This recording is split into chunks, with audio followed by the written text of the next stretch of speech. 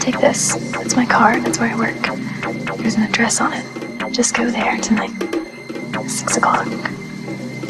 Don't worry about it. Let's just say I think we can settle this once and for all. Mm-hmm. See you there.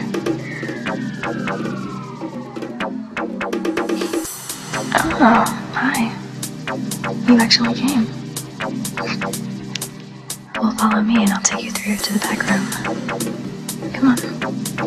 Now, here we are. So, welcome to the agency.